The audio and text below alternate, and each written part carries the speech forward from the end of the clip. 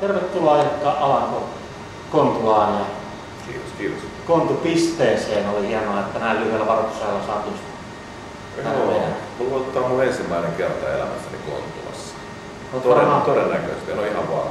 paikasta kuullut joskus kuitenkin. Kyllä, totta kai tiedän tämän olemassa. on. Niin, eli tänään olet Metroklubin lauteilla yhdessä uuden bändisi kanssa. Joo. Minkä verran on keikkoja nyt tällä kokoonpanolla takana? Tällä? Öö, reilu 20 muistaakseni on nyt tehty toistaiseksi. Ja minkälainen koostumus on? Rumpali, sitten on kitaristi, joka hoitaa myös koneet, ja sitten on semmoinen tyttö, mikä soittaa kiippareita ja laulaa taustalla. Tämmöinen porukka laulaa. Okei. Minun lisäksi. Ja minkälaista kamaa kuullaan tänä päivänä? No siis mun soolomatskua, tätä Elektra-levybiisiä lähinnä. Ja sitten jotain vanhoja neljäruusilla klassikoita, joita on myös soittaa. Kuinka kauan sulla vei neljä, neljä ruusun toiminnan nyt tällä, tällä erää päätettyä niin tähän? Oliko sun mielessä jo aikaisemmin, että haluat jotain Oli siis kyllä silloin niin kuin reilu kaksi vuotta sitten, kun Ruusut vielä keikkaa, niin me oltiin kuitenkin päätetty jo puolitoista vuotta ennen kuin me lopetettiin, niin että me lopetetaan ja tehdään vielä ja siihen liittyvät keikat. Et kyllä mulla oli silloin jo tiedossa, että mä haluan tehdä tämän kuin, tää on, oikeastaan mä oon tehnyt tätä niin kuin kaksi vuotta. Että se on niin kuin täyttänyt nämä kaksi viimeistä vuotta tämän levyn tekeminen. Et mitään muuta järkevää mä ole tehnyt tuona aikana. Et kyllä se on aika kauan ollut mielessä tämä, tämä projekti.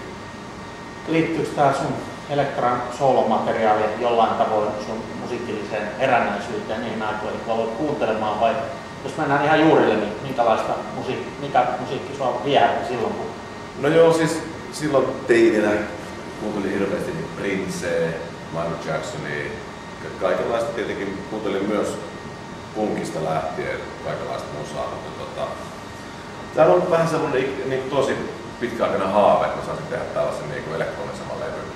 Et, et mä oon kyllä niin kuin imuroinut vaikutteita 80-luvulta asti ja, ja tota, totta kai myös 90-luvulla on ollut paljon sellaisia, mistä mä. Et Tää on tämmönen, mitä mä oon vuosien varrella kerännyt tänne jonnekin kova, sisäiselle kovalevylle niin tätä, tätä, tätä matskua ja nyt mä sitten niin kuin ammennut sitä itseni kautta.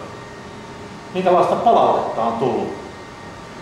Öö, Keikoilla erittäin hyvää palautetta ja tota, kyllä niin kuin, ne, ketkä hiffaa ja tajuaa mistä on kyse, niin ne on niin kuin, ollut todella otettu tuosta, meiningistä. Ja aika paljon ihmiset myöskin ihmettelee mua. Että se on, moni sanoo, että se on niin kuin hirveän rohkea veto. Ja niin ehkä se sitä onkin. Että ei ole ihan periaatteessa kun äijä täyttää 40, niin pitäisi ottaa se akustinen kitara ja vähän viuluja ja vähän pianoa ja tehdä se mietiskelevä folk-levy siitä. Mä teen sen vähän eri tavalla. Tuntuuko, että on uusia kuulijoita tullut myös tämän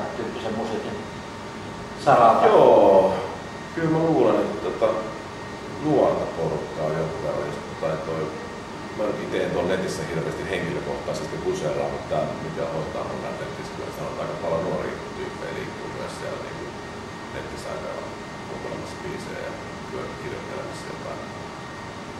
Se on kiinnostavaa. Kuinka pitkä keikka rupeama nyt näyttäisi olevan edessä, että mihin asti tällä, tällä No, mennään? öö, tuonne jonnekin joulukuun alkupuolelle varmaankin. Ja taas ensi keväänä tehdään jotain, jotain keikkoja. Ja ensi kesänä. Siitä eteenpäin en, tiedä. Tulevaisuutta ei ole kirjoitettu se Ei, mä en ole ikinä suunnitellut. Mulla on aika huono tulevaisuuden suunnittelija aina. Mennään vähän niin tälleen päivä kerrallaan tyyppisesti.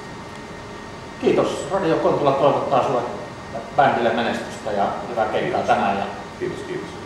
Jatkossa myös entistä jännittävämpiä askelia sitten uralla. Ja tärkeä päivä tämä ensimmäinen kosketuspinta tähän Kontulaan. Kiitos siitä. Kiitoksia.